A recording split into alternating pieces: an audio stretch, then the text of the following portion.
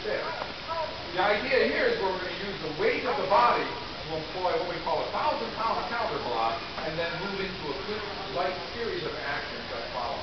Jake? First, a good sound salute, no rush. These do complete.